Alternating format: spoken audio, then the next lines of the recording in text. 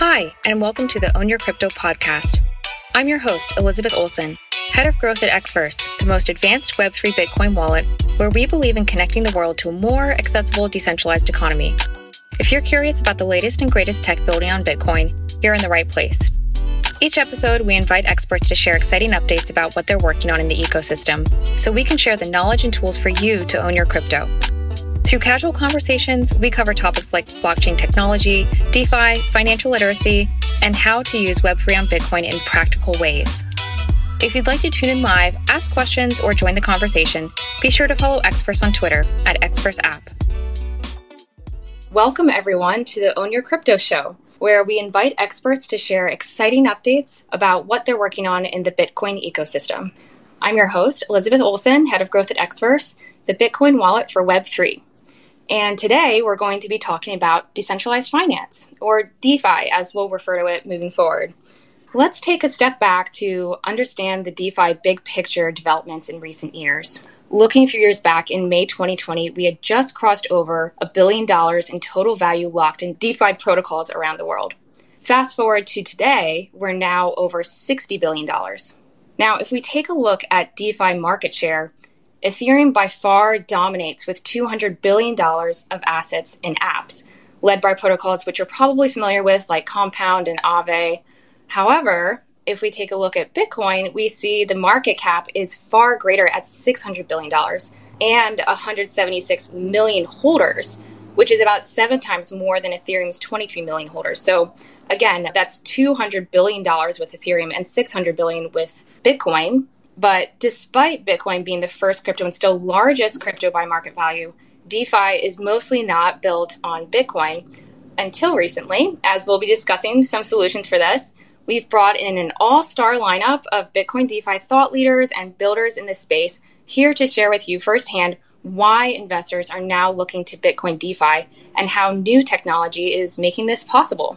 So, here with us, we have Chiente Hsu from Alex. Philip de Smedt from Arkadiko, Aki Balogh and Jesse Eisenberg from DLC Link, Tycho Onnasch from Zest Protocol, and of course our very own founder, Ken Liao from Xverse.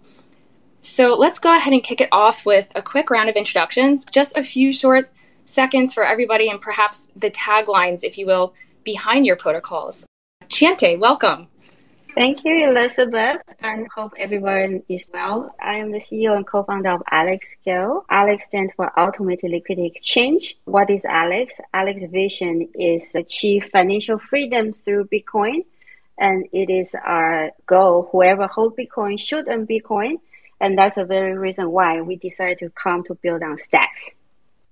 Excellent. It's wonderful to have you. Philip, Hello, I am Philip, core contributor at Arkadiko. We are a crypto collateralized stablecoin. Specifically, that means you can put in your crypto that is today STX and XBTC, and very soon also AT Alex, the auto compounding Alex governance token. You can put those tokens in a smart contract and mint our stablecoin USDA against it. So effectively, you're leveraging yourself against your crypto, additional liquidity without selling it. Awesome. Thanks for being here. Aki, Hey everyone, I'm Aki, co-founded DLC Link. We're letting native Bitcoin be used in applications on any chain using Bitcoin escrow system enabled by discrete log contracts or DLCs. And last but not least, Tycho. Yeah, fantastic. Thanks very much. I'm Tycho and co-founder of Zest Protocol. And what we're building is the first sort of native Bitcoin on chain yield product. So you can earn yield on your Bitcoin. And what happens under the hood is that Bitcoin gets lent to some of the most credit-worthy institutions in crypto to generate a sustainable yield, doing yield bearing activity with it on centralized exchanges in the real world. Happy to have all of you here and we have many questions and we'll also try to save time for a Q&A at the end. To start, for each of you, I'd like to get your take on what is DeFi Sure. DeFi stands for decentralized finance. And what's important here, decentralized, right? And the way we define this word decentralization, there are many different definitions, obviously from math to philosophy to computer science to economics. But the way we understand it is that there's no single point of centralized authority that will be the decision maker to shut the participants. So that's what we believe is a decentralized finance. Now, one thing I want to make it clear because we are here, most of us are builders on stacks, Bitcoin via stacks. And one thing I want to make it clear is our belief that Bitcoin doesn't need DeFi. Bitcoin is a perfect layer of money, big database. So Bitcoin doesn't need DeFi. But we truly believe, particularly at Alex, we truly believe that DeFi does need Bitcoin. Bitcoin exists years before DeFi emerged, and the Bitcoin will remain if DeFi ever disappear. But DeFi, however, do need Bitcoin. Why? Because without the security and the immutability unique to Bitcoin, DeFi will never achieve mass adoption most of the public they don't hold and they don't understand bitcoin at all to go from being a newcomer to crypto to participating in bitcoin defi it takes a few steps right and uh, we like to call it steps one, two, three, but this is very specific to Alex, but feel free to adapt to your own protocol. Number one is Bitcoin is a money layer. It's the ultimate form of money. If you ask somebody, say, okay, you are not happy with the current fiat system, write down everything you don't like, and then write down everything that you would like. It turned out that everything, every point will lead to Bitcoin. That's how beautiful this protocol is. So it's the ultimate form of money because Bitcoin is truly and securely ours, yours. Now, the whole purpose of Alex come to build on Stack is that stack is a smart contract layer. Just like you said, Elizabeth, all the thriving DeFi at the moment are on Ethereum, on Solana, on other chains. But Stacks enable the smart contract layer on Bitcoin. Stacks makes Bitcoin programmable money. We should keep on saying this over and over again because I feel like most people don't understand it. Alex is a protocol built on Stacks, built on Bitcoin, set on Bitcoin via Stacks. So Alex protocol turns Bitcoin into a productive asset. What does that mean, productive asset? If you hold Bitcoin, you should earn Bitcoin. And that's really the beauty. I always like to say this is genius. POX is genius. When you use a network like Stacks, the smart contract layer, and you can earn, when you stack, you can earn Bitcoin. That's the beauty of Stacks. And Alex is here to offer the Bitcoin yield to all Bitcoin holders that make your Bitcoin to earn the yield, completely decentralized way. That's such a great point that in order for DeFi to achieve this mass adoption, we really need the security and immutability that only Bitcoin can provide. Tycho, anything to add or expand on that?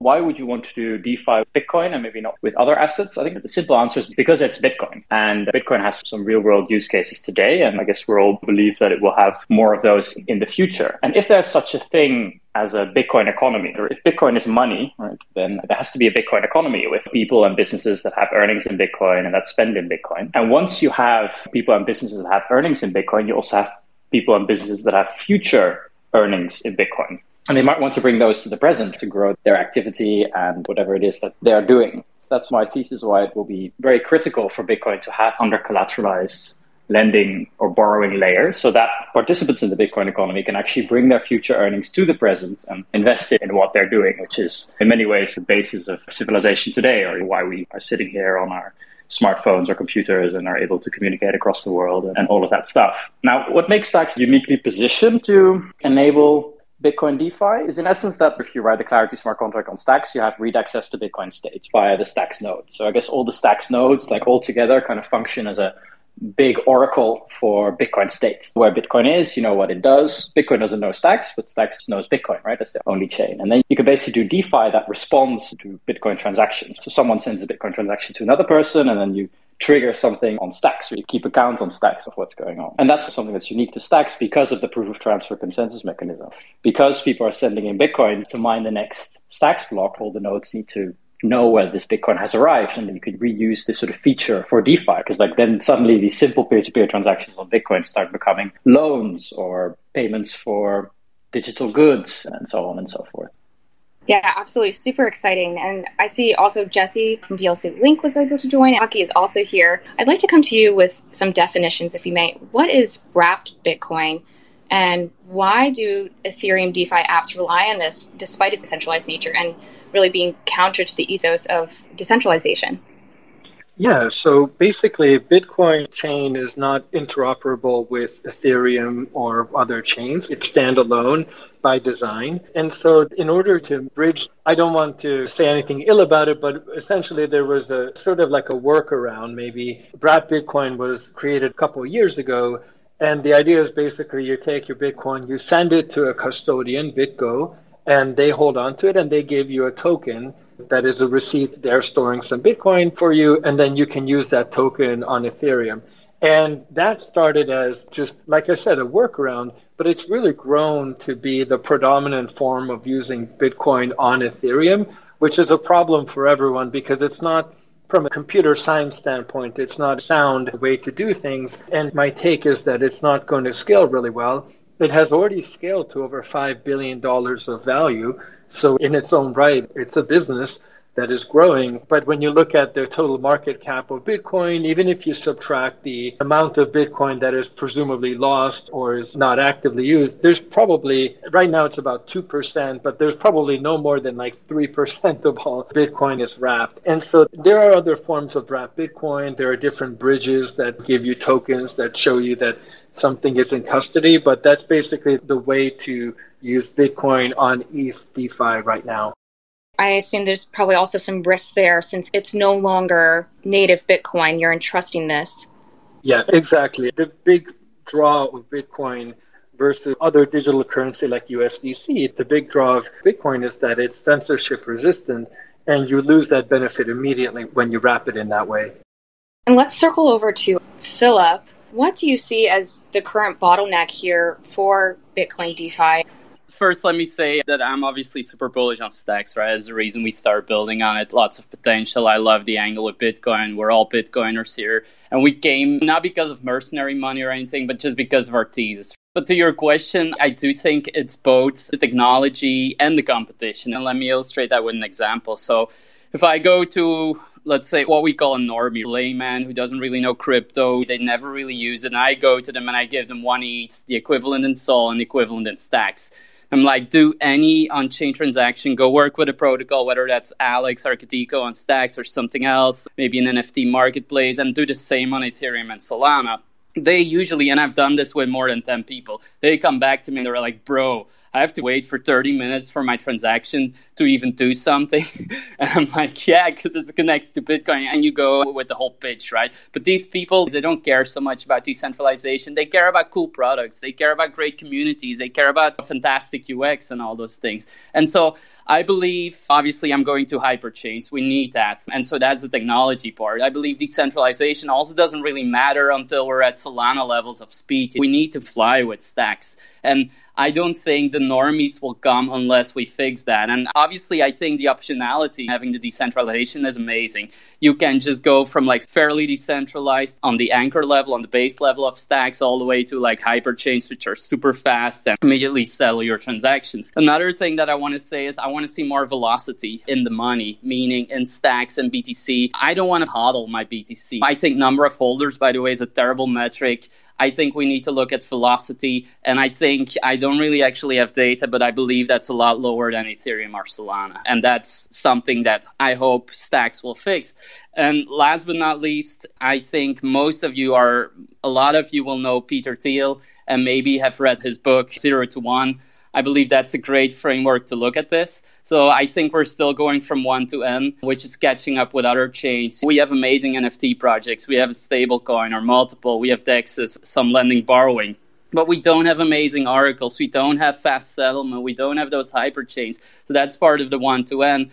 And I believe hinting at what Tycho and Aki already did is the native BTC angle. And for me, that's the zero to one thing. If we don't have a zero to one, we might be at M plus one, but it won't matter. We need that catalyst, that novel app that other chains don't have. And that could be the Bitcoin thing, or it could be something else. But more innovation, and I love the DLC link angle, and we're also working on that. So that's my take might be a little bit negative, but we need to be critical and we need some criticism in the inner space to get better. Having said that, still super bullish on the stacks and the angle of. That's how I see it. Fantastic. So I'd like to dive in a little bit deeper into each of your protocols just to learn more about the solutions that you're currently bringing to the table. Chiente, What can people do with Bitcoin today, and what is Alex building? So instead of starting having the laundry list of what we have, I would like to start with really ultimately why Alex is here. Again, we want the Bitcoin holder to earn Bitcoin. We want Bitcoin to be able to earn yield if you hold it. But how do we do that instead of centralized lend borrow entity or centralized exchange? And that's what Alex is for. And everything we have built so far and we come to build is to enable just, just one utility, right? It's very simple. You don't need to go to a very complicated stuff, whatever this and that. Very simple. On Alex, end of the year, if you have Bitcoin, you will be able to earn Bitcoin yield. And hopefully, and that's why we work quite closely with uh, Xverse, with Ken. Shout out to this uh, wonderful CEO and the team very soon, once the functionality is there, that through Alex, if you have Bitcoin, you can earn Bitcoin yield. Hopefully, we can see Xverse like my mom or my mother-in-law. They download the Xverse. They can see their Bitcoin every day, the accumulation of the yield, right, through the Xverse. So that's ultimately that's the vision we have. But how do we do that? Number one, we need to have all the bits and pieces, all the functionality, I call it building blocks. So at the moment, Alex is rolling out order book so you can call it DYDX on Stacks. We need to get, as Philippe said, the velocity going. We need to really offer top notch UI, UX and order book for people want to come to Alex, to Stacks, to Bitcoin DeFi, and they want to trade.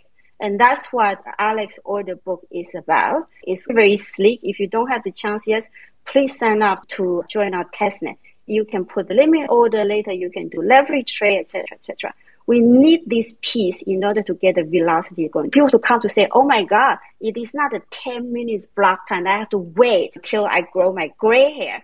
Is that the confirmation on Alex order book is instantaneous, but the settlement, it is still on Bitcoin. So that's number one. Once we have that, the next step for us is perpetual futures between Bitcoin and stacks. Because at the end of the day, we are building on stacks, right? But the Bitcoin holder, when they want to earn Bitcoin yield, most of them don't want to take the risk between stacks and Bitcoin. So what we're going to do is the following. Alex will handle the conversion from the Bitcoin to stacks, and then we will stack the stacks in order for the Bitcoin holder to earn the stacking yield. Now, Alex will also have the perpetual futures to hedge out the risk and ultimately return the native Bitcoin yield from stacking, but also at the maturity, retain your Bitcoin principal, so not stack. So that's really single most important use case that the people will come to Alex or come to Stack to earn some extra yield. Now I understand what Aki talked about red Bitcoin and Philippe talked about native Bitcoin. What I heard, and I hope to read that white paper very soon, is that the top-notch engineers in the Stacks ecosystem are working towards the Bitcoin peg-out issue. And I want to say, whatever Alex is doing, again, this is our philosophy. Instead of sitting there counting our fingers, waiting for everything in the world to be perfect in order to do something, we want to be pragmatic. At the moment, that problem is not solved, and I hope to see DLC to thrive to solve the first step of problem. But ultimately, red Bitcoin on stack is not like red Bitcoin on ETH. So don't think red Bitcoin is dirty word, okay?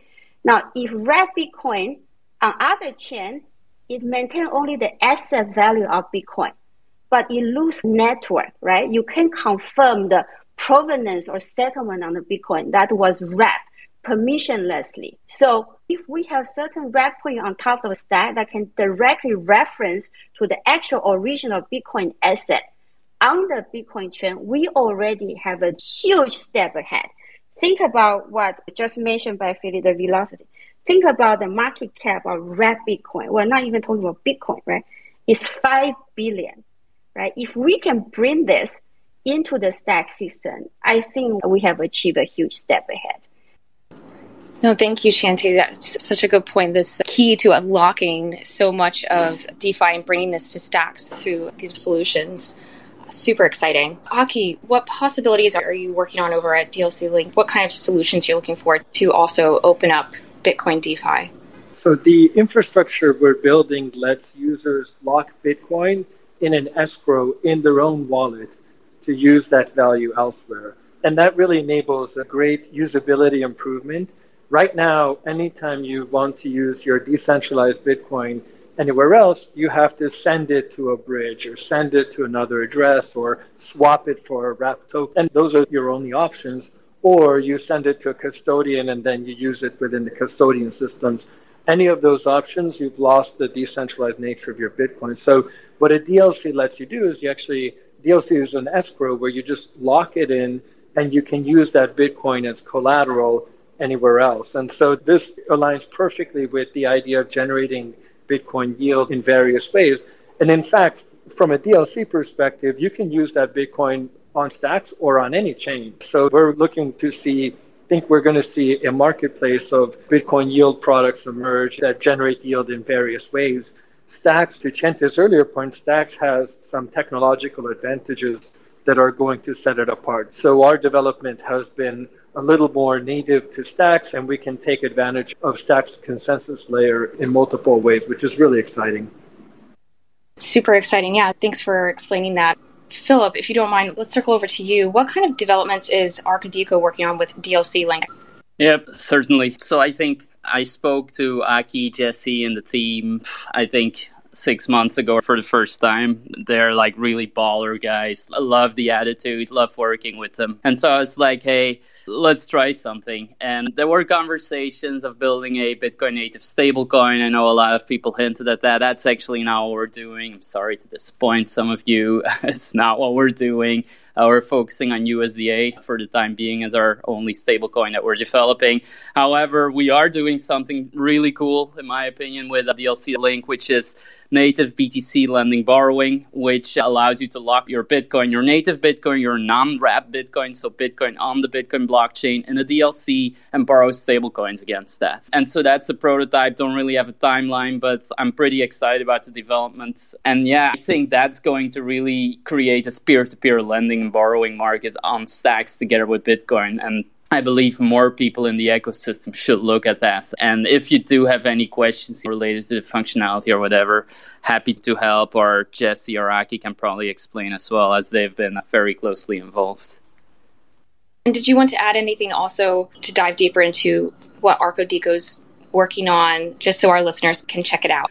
I said in the intro in the beginning a bit that we're mostly focused on our stablecoin and what I want to give people. So for me, DeFi is really about trustlessness, transparency, openness, availability for everyone, not based on where you live, where you were born, or how much money you have if I go to my bank and I say I have a Bitcoin, can I borrow against? They laugh and they say go away, and that's frustrating for people. And I wanted to fix that with Arkadiko, so that's why we built a stablecoin. Essentially, it's a borrowing product, right? You put in some Bitcoin and you get your stablecoin out, and you can use that stablecoin whichever shape or form you want, as long as you pay it back and the, the payback is guaranteed through over collateralization. So you always want your collateral back at some point because you put in more dollar value than you're actually borrowing. So it's very effective. And so honestly, that's really what I'm focused on. I just want to put that in the market, scale it up further. I know it's boring answers. We're not doing building them new products every year. No, that's not what we're doing. I really want that stablecoin to work, and then we're focusing around that stablecoin. So for instance,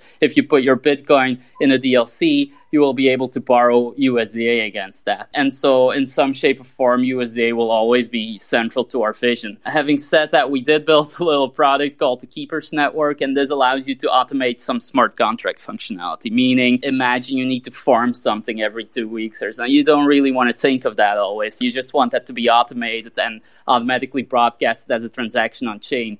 So with our Keepers product, which will probably be launching before the end of the year on mainnet, we are already using it internally, in fact, to do some Arkadiko jobs. And now I believe the Lydian protocol is also integrating it. So yeah, that's something that we have launched internally as well. And we will do these small experiments, but we'll probably be focused on the boring stuff, which is just trying to make our stablecoin work, growing that, and making sure that we do allow people to access that in a trustless and transparent way. Absolutely. And that's really what DeFi is all about having these traditional banking services, but making them trustless and decentralized peer to peer transactions and really accessible for anyone who has access to the internet. So it's really fantastic. Tycho, can you talk to us about Zest Protocol? Happy to shed some light on that in terms of the sort of trinity or collection of different products. If we really nail this uh, tokenized Bitcoin on stacks, then you could borrow really effectively against your Bitcoin collateral with Arkadiko. You could borrow stablecoins or you could do like a lot of cool stuff on Alex with it. But the question that we set out to solve was a bit of a different one, which is more about like Bitcoin credits or Bitcoin capital markets in a bit of a broader sense, maybe, which is that if you look at like traditional finance, say 95% of the loans are under collateralized, right? If you look at like corporate bonds or very profitable companies borrowing money, they borrow that without putting any collateral, which makes sense because they're borrowing that against their future earnings. And if there's like this Bitcoin economy really exists or starts to flourish, there will be actors who would want to borrow against their future earnings. And credit or that kind of type of credit will always be based on something, some information that's by default not public. It's in the word credit. Credo means I believe in Latin. So it's like, how do you judge that? And then there are like experts that are very good at credit. And, uh, and they're basically called, yeah, we call them pool delegates that basically run a pool and they decide, hey, who would borrow from this pool based on off chain credit assessment. So in that sense, we're working towards basically this sort of large group of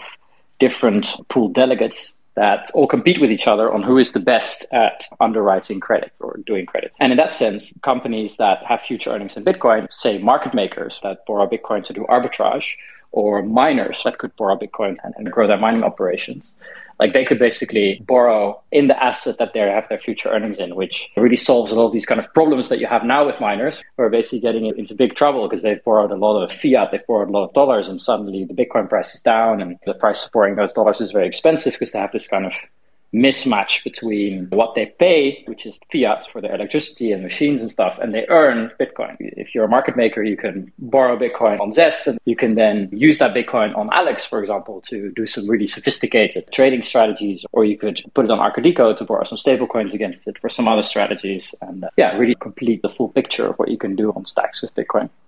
Or you can just put on Alex and earn Bitcoin yield that's actually one of the questions I wanted to ask is what is the difference between Alex and Zest Bitcoin yield? Is there a difference?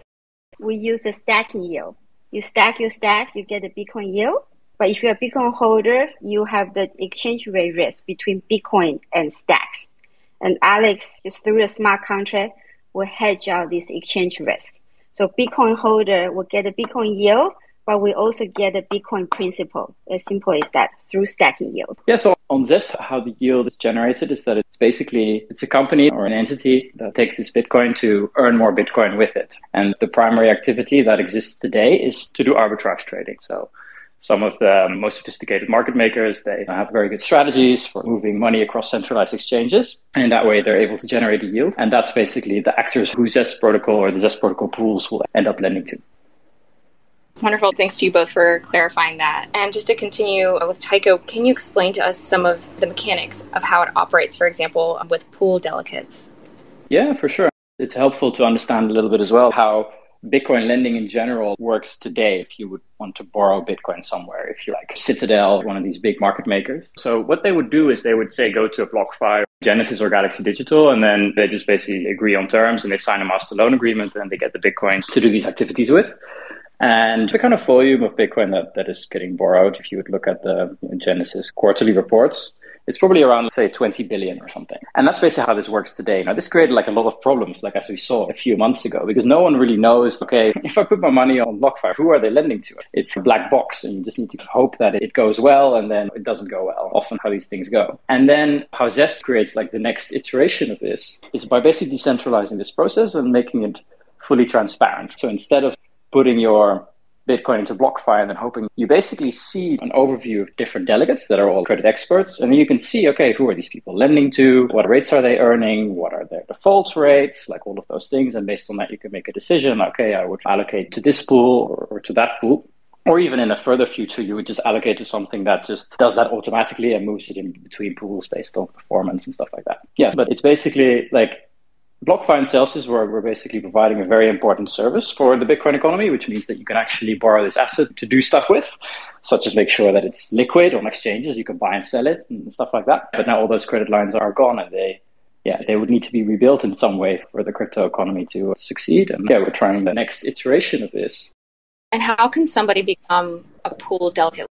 Yeah, those are very good points. Initially, we'll probably start with, say, one or two delegates that are like very good, that, for example, haven't had any defaults in this past sort of bloodbath that we saw over the last four months. And then as it progressively decentralizes, in the end, this would be something that the token holders basically govern. And uh, probably there'll be like some sort of specialized committee that's very good at credit and that sort of understands the different strategies to decide who pool delegates could be. But yeah, in essence, Zest is just the infrastructure, right? So if someone opens a pool or gets to be a pool delegate and that pool doesn't perform well, then that only affects people that have lent into that pool. One pool can go totally bust. And when there are hundreds of pools, that doesn't really matter. But obviously at the start, it's going to be really important that the default rate is minimized and that there are only these really good pool delegates that have like really good past performance.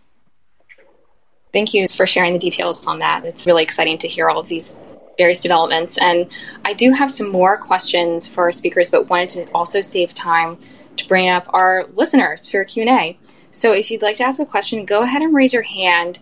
We'll get to you soon in just a few moments. And in the meantime, Ken, we've talked a lot about how the Stacks ecosystem is really maturing and the applications being built and what's to come. What do you see as the impact this will have on the Stacks ecosystem and bringing this kind of technology and protocols to Xverse users? Yeah, sure. So I'm super excited just hearing all these developments that are happening with the various projects that we have here today. Very bullish for the next year or two for Stacks.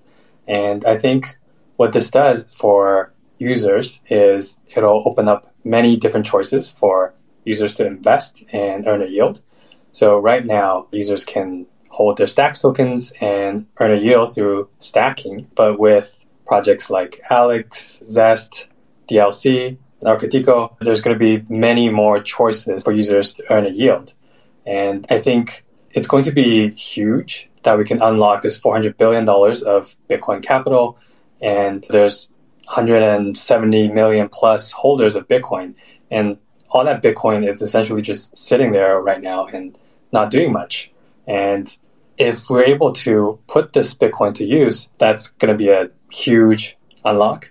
And I couldn't agree more on Chiente's point on needing great UX in this ecosystem because I think for most people, DeFi is still very complicated. And if you look outside the crypto space, if you wanted to invest in, say, stocks or equities, a lot of people don't have the time to do research on individual companies to figure out what stocks are good to invest in. But there are choices like index funds where people have figured out the math for you and you can just put it into the index fund and it'll grow. You don't have to think too much about it and you're insulated from the risk of investing in individual companies.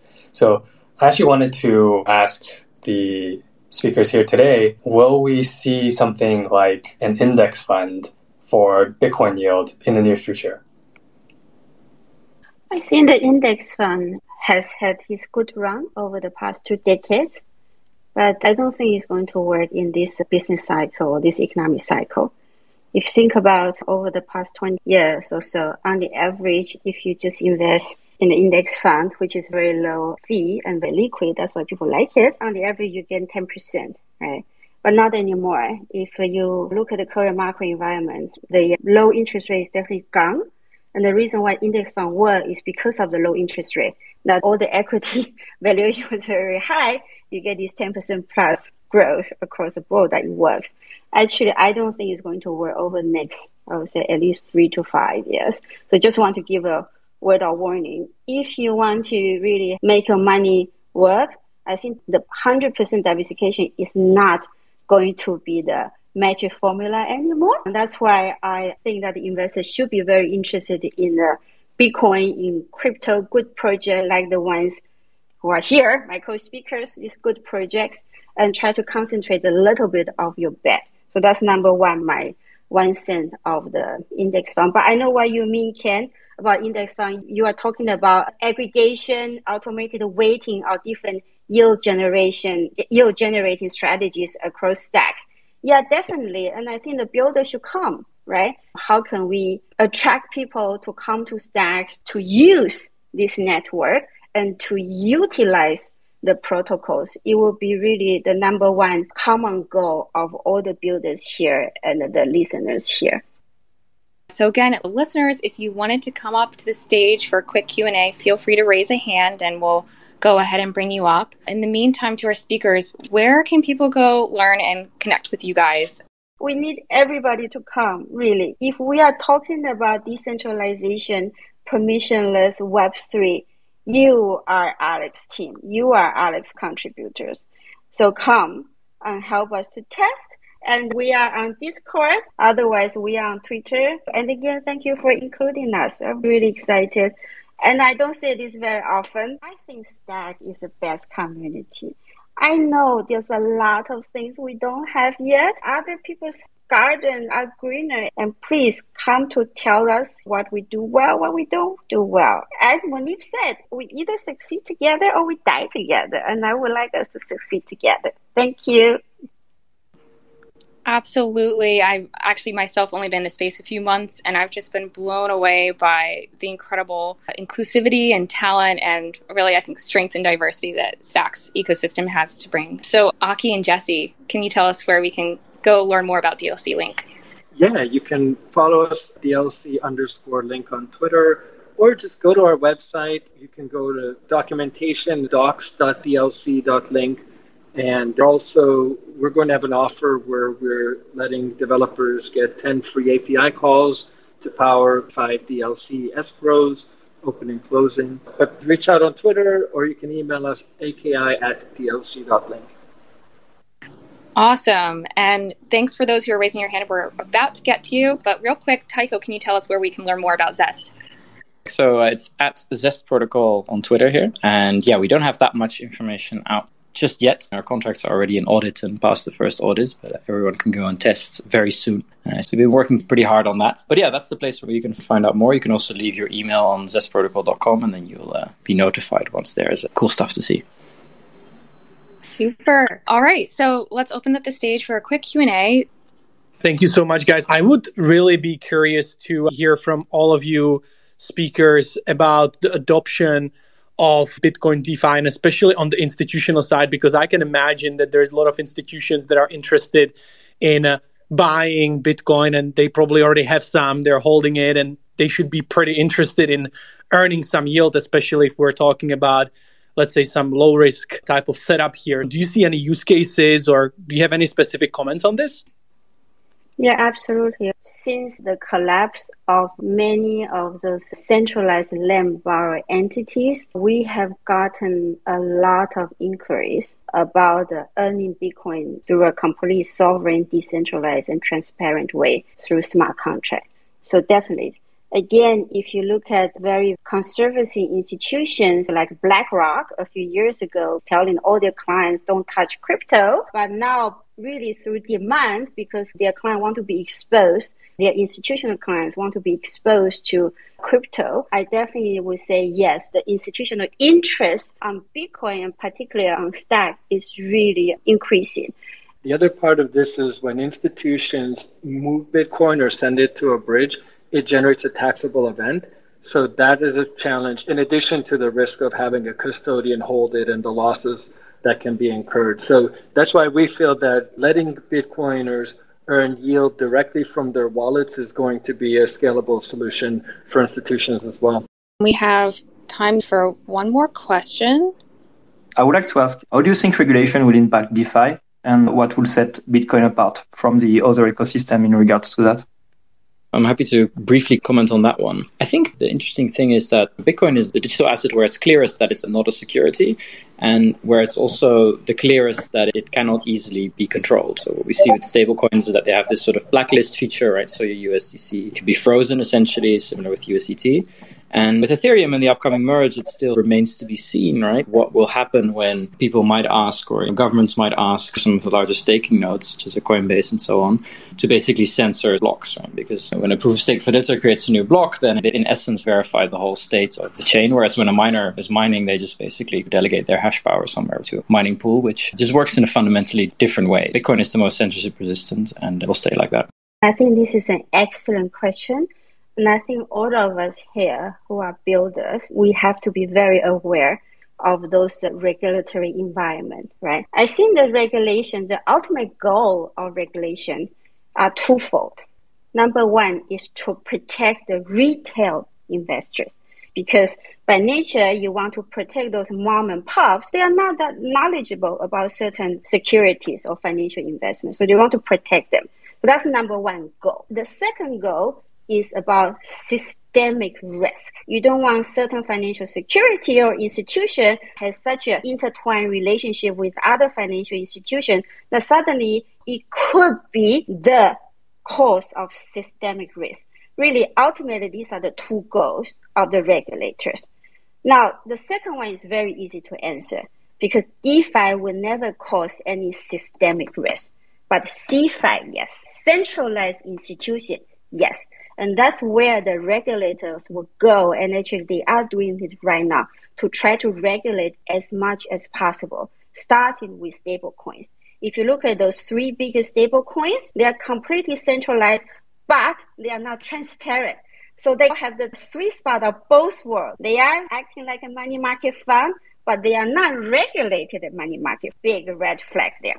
But this has nothing to do with DeFi, right? Whatever Tycho, Aki, Ken, Philip are building here right now is DeFi, is completely decentralized smart contract that doesn't belong to anybody. The developers put those smart contracts on the blockchain for people to use peer to peer. So there's zero systemic risk. Now, to protect the mom and pop or so called retail investors, I think we all have to do better in this. That lies in information, transparency, and education. And we need to do better, all of us together. Thank you so much, Chiente, and everyone today. This is such a perfect way to wrap things up. If Bitcoin DeFi is new to you, it's definitely a good idea to get started by downloading Xverse, available on iPhone and Android, and soon desktop. You can acquire some stacks, Bitcoin, City coins, and other SIP tokens. Use the in-app browser to directly connect and interact with DeFi protocols built on stacks uh, that you've heard about today. And as always, Xverse welcomes feedback on how we can improve. So please feel free to join our community and get in touch on ways we can make the app even better for you. So thanks again to everyone for joining us. Stay tuned and see you next time. This has been the Own Your Crypto podcast, brought to you by Xverse. Our intention with this podcast is to empower you to take charge of your crypto with confidence and get excited for the future of self custodial finance. If you enjoyed the conversation, please leave us a rating so more people can discover the show, and feel free to share with a friend who's also curious about the future of Bitcoin. Thanks for listening. We hope you'll connect with us on Twitter at XverseApp, and see you next time.